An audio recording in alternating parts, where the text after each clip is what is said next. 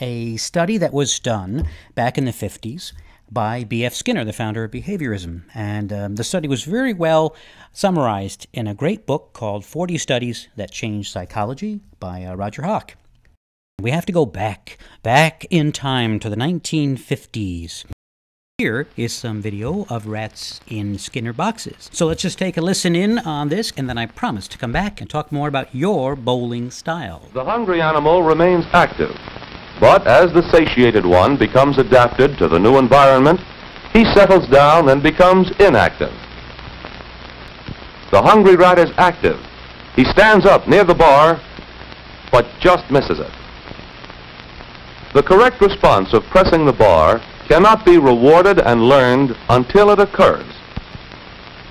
Stands up near the bar, presses it, but since he does not see the pellet and the food cup, he is not rewarded. Now he finds the pellet and is rewarded for approaching the food cup. From now on, he confines more of his activity to the region of the food dish. Okay, so there you have it. That's training a rat to press a bar. So, what does this have to do with larger issues? Well, if you have trained an animal to uh, give you a dog to give you its paw or a parakeet to speak, then you have used Skinner's techniques.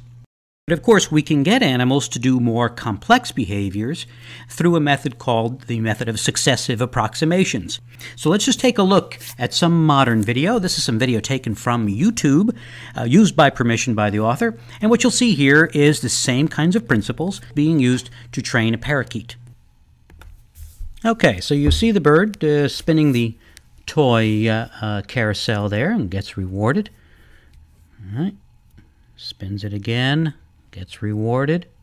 So we could get this bird to spin this this um, carousel quite a number of times as long as we withhold the reward for quite a while. All right, so now let's see how this method of successive approximations can result in a bird who can not only play golf, but he can play basketball, and he can play them both better than me. Can you shake hands? Shake hands. Good bird. Put the ball in. Good job, AJ. Pick up the ball. Thank you. Put the ball in. Put the ball in. Put the ball in. Good shot. Basket. Put it in the basket.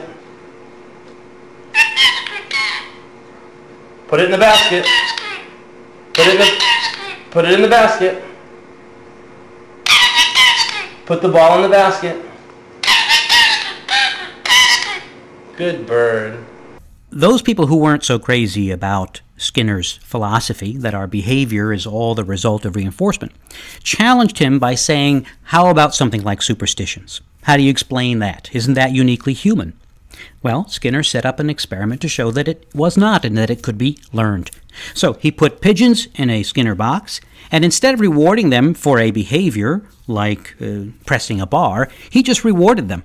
After 15 seconds or so, they just got a reward. And what he found out was these birds adopted be unusual behaviors. Some of them were twirling around in circles, others were pecking in the corner. Why? Because that's what they were doing at the time the reward came to them. Okay, now I promise to relate this to your bowling style, and we're ready. Now, I'm not really interested in your style, that is, how you run down the alley and deliver the ball. What I'm mostly interested in is what you do after you throw the ball. Now watch here. This is a video also from YouTube used by permission. And here's a young lady bowling. Now watch what she does after she releases the ball. She's got this leaning going on, right? There's a little leaning to the left in this case, right? She's trying to get that ball. All right, and now she'll try again. And here you see again, she's got that lean going. She's leaning to the left there, trying to influence the ball.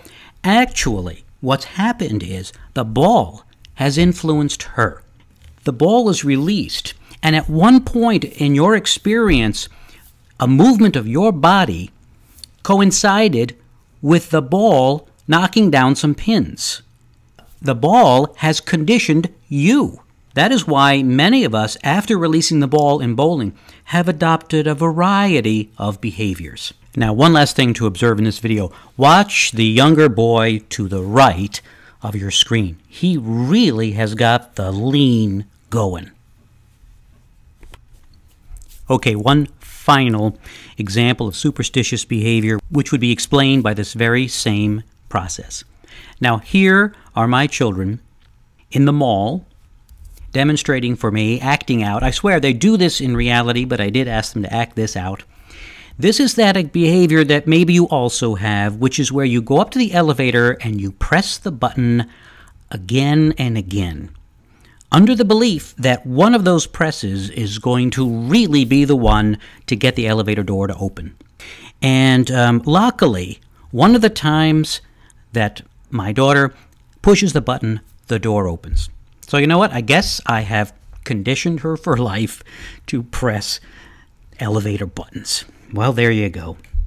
Well, folks, that's all for the Psych Files for today. I hope you found this interesting, and we return to our audio format next week. Hope to see you then. Thanks a lot, and take care. Feel free to visit the website at www.thepsychfiles.com and leave a comment, question, and I'll be happy to return that. Till next time, this is Michael Britt saying thanks a lot for watching the Psych Files.